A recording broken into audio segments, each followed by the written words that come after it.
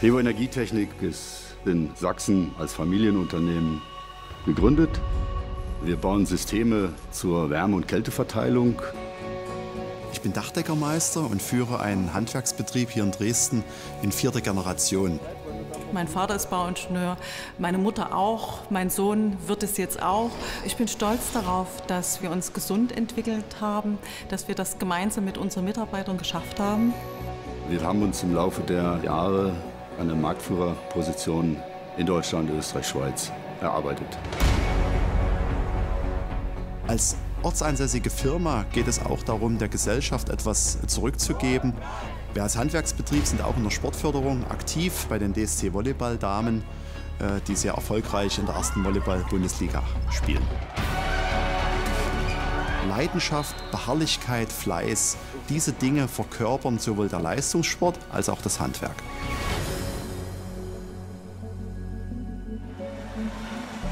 Ein Großteil der Mitarbeiter haben wir selber ausgebildet.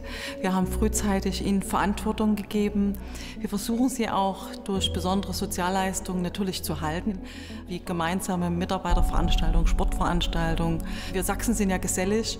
Auf jeden Fall ist es uns ganz wichtig, dass wir miteinander arbeiten und auch leben. Wirtschaft ist Teil der Gesellschaft und muss als solches auch Verantwortung übernehmen. Das Handwerk tut das an vielen Stellen.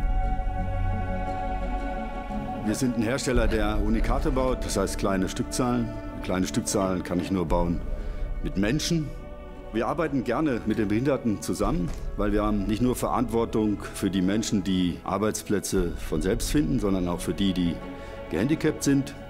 Wir haben einen guten Weg gefunden, in Zusammenarbeit mit den Lausitzer Werkstätten, die Behinderten zu fördern und gleichzeitig einen Lieferanten zu haben, der uns mit den Produkten beliefert, die wir benötigen.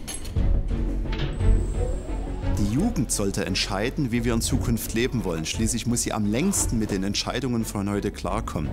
Deswegen ist auch ein junger Verein wie der DSC äh, so wichtig für die Gesellschaft, weil er viele Menschen vereint und zeigt, wo man mit Leidenschaft und Beharrlichkeit hinkommen kann.